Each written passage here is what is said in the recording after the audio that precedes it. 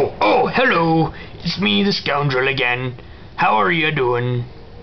As you can hear, it's, it's very windy outside, and, well, you can take a look for yourself, just to see how windy it is. Anyhow, it's about March now. Wait, no, it's April now. I had to check my watch, and it's still frickin' cold outside. I can't believe it. Now I know awkward conversations always just end up being talked about the weather, you know, like um you go on a date with a fancy girl and she says something about something under the table and I say, "Well, how about the weather? It's very uh nighttime outside." And and she she looks at me and that's how I lost my first wife. Um so I won't talk about the weather anymore, except to say that I'm freezing me leg off. Get it? It's a joke.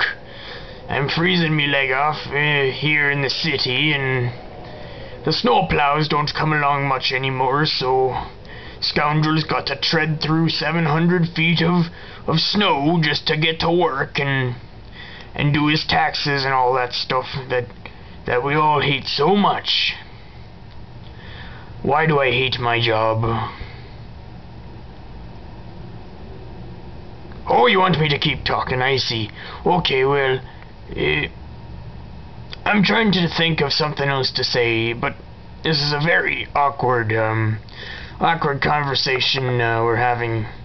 And, um, so, uh, it was a cold day today, I suppose, um, pretty chilly, if you ask me. Uh, I don't have anything else to say, kids. You should probably go to bed now because Uncle Scoundrel is out of words that he can use on daytime TV. So, um, if you don't go to bed now, I'm going to have to use mommy and daddy words. Um, God damn it, son of a bitch. Are you in bed, kids? If you're not, I'm sorry you had to hear that. If you hadn't been such little goddamn sons of bitches, you would not have heard it. That's good parenting right there, is telling your kids to go to bed before Uncle Scoundrel says things he doesn't mean.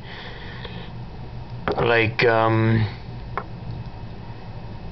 You know, there's one race I really hate. Those goddamn...